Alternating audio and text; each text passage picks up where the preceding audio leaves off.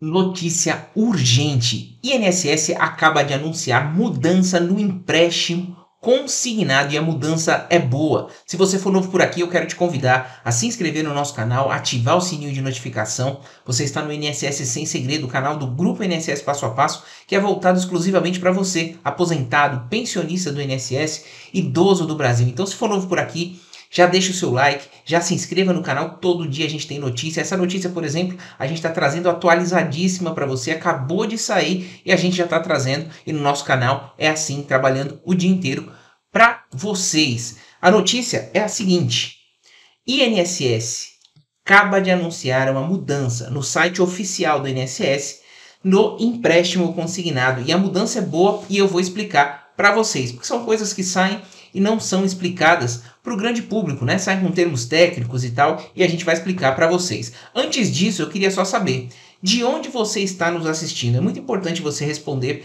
para a gente aqui e deixar a cidade, o estado que você está nos assistindo agora para que a gente possa estudar e trazer benefícios aqui para vocês, estaduais e municipais, não só do governo federal. Combinado? Deixou aí de onde você está falando. Agora vamos ao assunto de hoje. Acabou de sair, olha só. Regras do consignado, página oficial do INSS. Aqui não tem fake news, não. A gente já mostra a página oficial mesmo. Bancos terão 90 dias para passar informações ao INSS. Fernando, que informações são essas? Olha só, a medida visa dar mais transparência às transações do crédito consignado. Vamos ver o que, que mudou? Olha o que está escrito na matéria.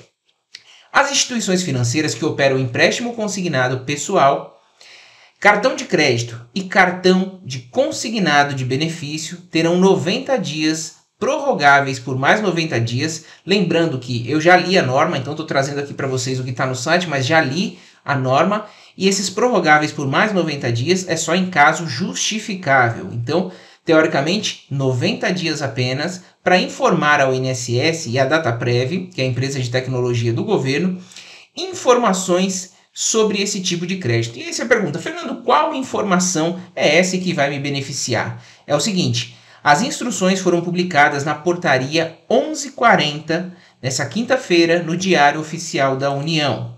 E as informações que terão que ser prestadas são as seguintes. Eu vou falar uma por uma aqui e a gente vai mostrar para vocês o que é que importa ou não. Olha só, primeiro aqui, taxa de juros mensal e anual. Por quê? você tem uma dificuldade muito grande depois de que você contrata, de você conseguir informações junto ao banco.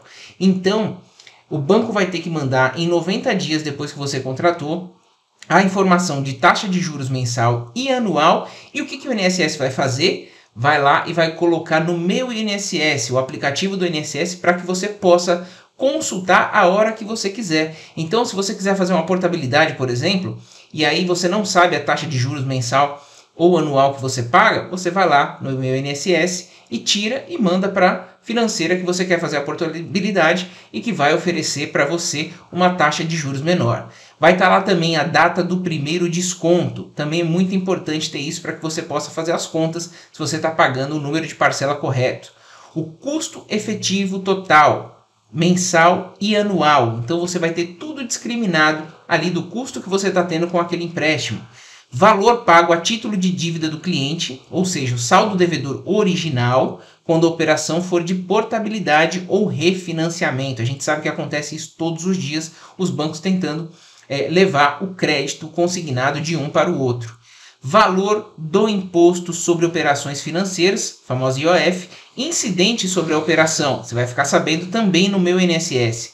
Informação diária das taxas de juros para as novas operações de crédito. Olha que interessante, o INSS vai publicar isso, né, para empréstimo pessoal consignado, cartão de crédito consignado e cartão consignado benefício. Vai ter todas as informações da taxa de juros que os bancos estão praticando para que você possa escolher a melhor e também buscar não só o banco buscar é, a você, né, buscar o contato com você para tentar te levar para o banco, né, transferir o seu empréstimo, mas como você olhar qual que está mais barato efetivamente, liga lá e fala, ó, eu quero fazer a minha portabilidade, quero ver aí, você negocia, né? Com a nova taxa de juros, se você vai abater do empréstimo ou se você vai pegar um valor de troco.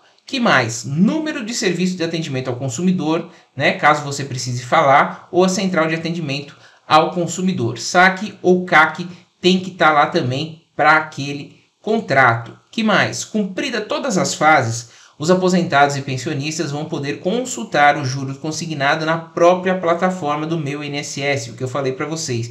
Isso vai facilitar ação judicial contra banco, você já vai ter ali no seu benefício a informação de quanto que é a taxa do juro consignado que você está pagando. Se você quiser entrar com uma ação revisional, tudo você vai ter lá. Você não vai depender da informação do banco que você pede e ele te envia ou não e quando quiser. Então, um grande avanço. Abre aspas.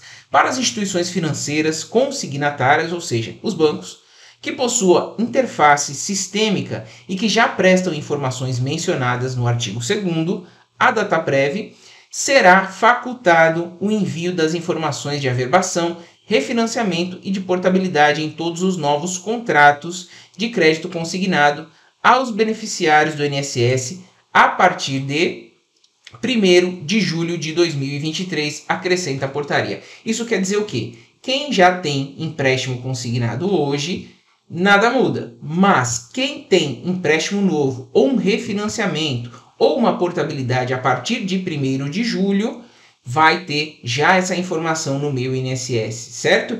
Então, uma grande mudança muito positiva. No primeiro momento parece que não, mas vai dar uma transparência enorme a esses contratos que causam tanto problema. Olha só, e finaliza também. Caberá à DataPrev a validação das informações sobre o teto máximo de juros ao mês para as operações de crédito consignado em benefícios pagos pelo INSS desde que atendam a uma resolução do Conselho Nacional de Previdência Social em vigor, conforme reunião do Conselho Nacional de Previdência realizada na última segunda-feira. A taxa de juros para esse tipo de empréstimo fechou o mês de abril em 1,91%, seguindo informações do Banco Central. Então, todas essas informações, pessoal, você aí que tem empréstimo consignado, você que sabe que tem alguém, seu pai, seu avô, compartilhe essa informação porque vai ficar muito mais transparente. Vai ter a possibilidade de você buscar o banco para fazer um empréstimo consignado. Você viu que ele está oferecendo a taxa menor e não esperar aquele monte de banco te ligar e depois você ficar fazendo portabilidade sem saber se é o mesmo, é o mais barato do momento para mostrar aqui para vocês, caso vocês queiram consultar e ler a portaria na íntegra, tá aqui, ó. Portaria DIRBEM barra INSS número 1140 de 13 de junho de 2023. E o que ela fala define o prazo e as obrigações a serem cumpridas pelas instituições financeiras, ou sejam, bancos, né, instituições financeiras consignatárias, acordantes que operem com empréstimo pessoal consignado, cartão de crédito e cartão consignado de benefício em decorrência da publicação da Instrução Normativa 148 de 1 de junho de 2023. O resto aqui eu já resumi para você no vídeo, você não precisa nem ler, se você quiser ler, fique à vontade, está aqui, basta você colocar no Google que você vai achar ou na própria página do INSS do governo federal. Fato é, vai ser mais transparente e esse é o caminho para que o empréstimo consignado, que eu lembro a vocês aqui, que seja uma última opção você pegar um empréstimo consignado. Mas se você precisar, é o crédito mais barato que tem no mercado. Utilize ele para pagar outras dívidas que tenham juros mais caros, como por exemplo um cheque especial, um cartão de crédito atrasado. Aí sim vale a pena. Mas no melhor de tudo é você não pegar empréstimo se você tiver condições aí de sanar as suas dívidas e sobreviver sem ele, porque o empréstimo às vezes acaba virando uma bola de neve e eu tenho esse pensamento aqui defendendo os aposentados e pensionistas que muitas vezes são arrimos de família, precisam às vezes pegar um empréstimo para ajudar um familiar, porque tem crédito mais barato e aí acaba se endividando por isso. Então pense bem na hora de fazer e se for fazer, faça o crédito consignado para tentar pagar dívidas mais caras. Então é isso, pessoal. Espero que vocês tenham gostado do vídeo. Se ainda ficou com dúvida, pode deixar aqui nos comentários que a gente vai responder para você, seja em forma de vídeo, seja em forma do próprio comentário para quem é inscrito no canal. Não é inscrito ainda? Inscreva-se agora, ative o sininho de notificação, vai ser um prazer fazer vídeos aqui para você todos os dias. Forte abraço e até o próximo INSS Sem Segredo.